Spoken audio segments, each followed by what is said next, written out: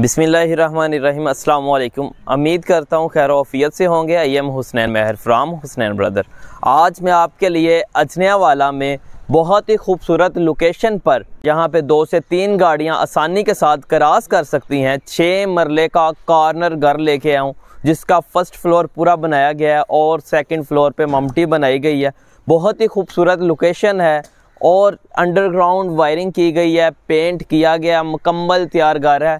मुनासिब कीमत में ये छः मरले का कॉर्नर घर आपको मिल सकता है। आइए इसका विज़िट करते हैं। जी वीवर्स अगर इस घर का आपको फ्रंट एलिवेशन दिखाया जाए तो क्रीमी कलर का इसके ऊपर पेंट किया गया है, जो वेदर शीट में है, और फ्रंट पे इसका मेन गेट है, जिसकी वाइड 10 फुट है। आसानी के साथ गाड़ी जा सकती है। उसके साथ ही ड्राइंग रूम का बाहर की तरफ़ दरवाज़ा लगा हुआ है, जिससे मेहमान आसानी से अंदर जा सकते हैं। उसके साथ ही उसकी विंडो लगाई गई है और मेन रोड आपको दिखाया जाए तो ये 40 फीट का मेन रोड है जिसके पास सेम गुज़रती है और पानी की कोई टेंशन नहीं है।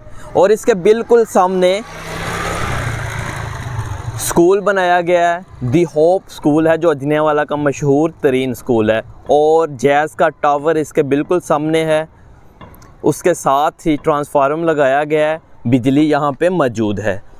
आइए हम सबसे पहले अपने ड्राइंग रूम का विज़िट करते हैं, उसके बाद मेन जो हमारा गेट है, उससे सारी एंट्रेंस आपको दिखाएँगे।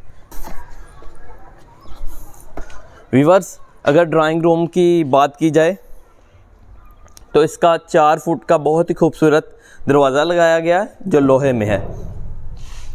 और ड्राइंग रूम की वाइड बहुत ही अच्छी है।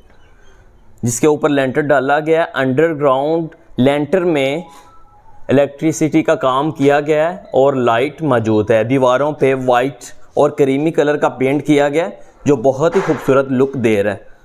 इसके नीचे फ़र्श डाला गया अगर व्यूवर्स आपको वॉशरूम दिखाया जाए, इसका भी लोहे का दरवाज़ा लगाया गया और बहुत ही खूबसूरत पेंट किए गए हैं।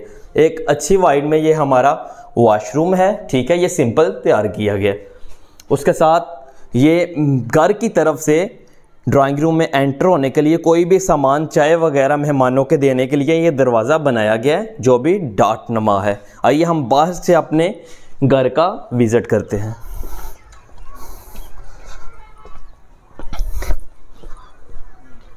जी व्यवर्स हम अब आ गए अपने मेन गेट की तरफ़।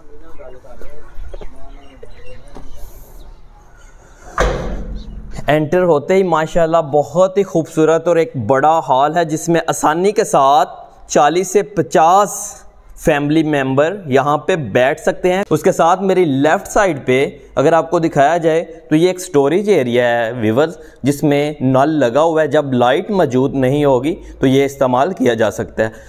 और मोटर इंस्टॉल्ड है, बिजली की, सारी वायरिंग दीवारों के अंदर की गई है।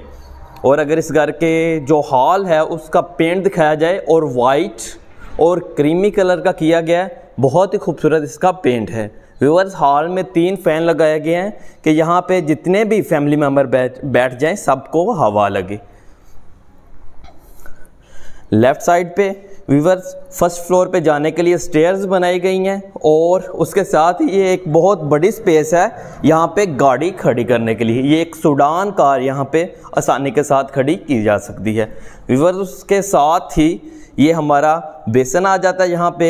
सुबह के वक्त फेस वॉश कर सकते हैं और उसके साथ ये हमारा वॉशरूम है, जो घर के कॉमन इस्तेमाल करने के लिए बनाया गया है। व्यूवर ये अच्छी स्पेस में हमारा वॉशरूम है, ठीक है? जिसके नीचे फर्श डाला हुआ है और ऊपर पेंट किया गया है। उसके साथ हम चलते हैं अब अपने फ़र्स्ट बेडरूम की तरफ़। राइट साइड पे एंटर होते ही ये हमारा फ़र्स्ट बेडरूम आ जाता है, जिसका अगर आपको विज़िट करवाया जाए तो एक अच्छी स्पेस में है, ये बेबी बेडरूम बन सकता है स्टडी रूम बन सकता है। अगर इसके ऊपर आपको दिखाया जाए वीवर्स तो एक काफ़ी स्पेस बचती है सामान रखने के लिए। और इसके ऊपर इलेक्ट्रिसिटी का काम किया गया है, दीवारों पे पेंट किए गए हैं, और इसका मेन गेट फाइबर का है, जो वाटर प्रूफ है। उसके साथ राइट तरफ़ हम अपने किचन का विज़िट करते हैं। वर्ज अगर किचन आपको दिखाया जाए तो शेल्फ डली हुई है पेंट किया गया है और इसके डॉन छत डाली गई है। इसके ऊपर गैलरी बनाई गई है सामान वगैरह स्टोर करने के लिए। अगर इसका किचन का आपको दरवाज़ा दिखाया जाए तो यह भी फाइबर का लगाया गया वाटर प्रूफ है और बहुत ही खूबसूरत इसके ऊपर पेंट किया गया है। विवर्स नीचे और ऊपर आप कैबिनेट बना सकते हैं। अब हम एंटर होते हैं अपने घर के सेकंड बेडरूम की तरफ़। अगर आपको ये बेडरूम दिखाया जाए तो ये एक अच्छी स्पेस में हमारा बेडरूम है, जिसका वाइट और करीमी कलर किया गया है, और इसका मेन जो डोर लगाया गया है, ये भी फाइबर का वाटरप्रूफ डोर है, और इसके ऊपर बहुत ही खूबसूरत पेंट किया गया है। नीचे वीवर्स फर्श डाले गए हैं, और लेंटर के अंदर इसका इलेक्ट्रिसिटी का काम किया गया है, और बहुत ही खूबसूरत तरीके के साथ ये घर तैयार किया गया है। अगर इस घर की टोटल कमरों के जो दरवाजे हैं, उनकी बात की जाए तो सब के डॉट्स लगाई गई हैं, जो बहुत खूबसूरत लगती हैं। अब वीवर्स हम अपने थर्ड बेडरूम का विज़िट करते हैं। अगर ये आपको बेडरूम दिखाया जाए तो ये भी एक अच्छी स्पेस में है, और इसके भी प्लस्तर किया गया पेंट किया गया नीचे फर्श डाला गया और बिजली यहाँ पे इलेक्ट्रिसिटी का वर्क सारा टोटल मुकम्मल कर दिया गया है। विवस बहुत अच्छा घर है छः मरले का घर है, तीन कमरे हमें मिल जाते हैं, एक किचन मिल जाता है गैराज काफ़ी अच्छा मिल जाता है। ड्राइंग रूम मिल जाती है स्टेयर्स मिल जाती हैं, और अब मैं आपको दिखाता हूँ इसका फ़र्स्ट फ्लोर पे किस तरह का माहौल है और क्या क्या चीज़ें बनाई जा सकती हैं। अगर आपको अच्छा लगे तो मैं आपको बताता चलूँ, बहुत मुनासिब कीमत पे ये घर आपको मिल सकता है। मेरे साथ रही एंड पे मैं इसकी डिमांड और अपना कंटेक्ट नंबर आपको दे दूँगा। विवर्स, हम अपने अब फ़र्स्ट फ्लोर का विज़िट करते हैं। ये स्टेयर्स बनाई गई हैं। चार फुट इसकी वाइड है और आसानी के साथ चारपाई और कुर्सियाँ वगैरह, कोई भी सामान छत पे लेके जाया जा सकता है।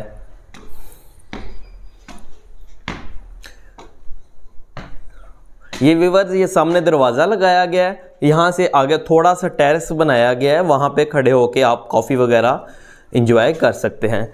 ये ऊपर जो स्टेयर रूम है, यहाँ पे भी एक छोटा सा किचन बनाया गया है और यहाँ पे सामान वगैरह भी स्टोर कर सकते हैं। उसके साथ अब हम एंटर होते हैं अपने मेन बड़े जो फ़र्स्ट फ्लोर का छत आ जाता है। अगर ये आपको छत दिखाई जाए तो एक बहुत अच्छे साइज़ में है। यहाँ पे आप बिल्डिंग बना सकते हैं। सेम जो नीचे बनी हुई है, वो भी ऊपर बन जाएगी। और इसकी जो पैरापिट वाल्स हैं, वो पाँच फुट तक की गई है। समझ लें कि इस घर में कोई भी नहीं दे सकता। एक महफूज घर है। यहाँ पे नल वगैरह लगाया गया है, कपड़े वगैरह धोने के लिए। विवज एक चीज़ मैं आपको बताता चलूँ कि इस घर का जो व्यू है वो कॉर्नर व्यू है। अगर इसकी एक साइड आपको दिखाई जाए तो इसका ये कॉर्नर व्यू बनता है, जिसकी एक साइड पे 10 फुट की स्ट्रीट है, जिसमें पीसी डाली गई है, और दूसरी साइड पे मेन 40 फुट का रोड है। अगर कोई लेना चाहता है, मेरा contact number zero three four zero zero one double two one three six है। अजने वाला में मेरा ऑफ़िस है। अगर आपको अच्छी लगे तो अपने दोस्तों के साथ लाजमी शेयर कीजिएगा। दुआओं में याद रखना। अल्लाह हाफिज़।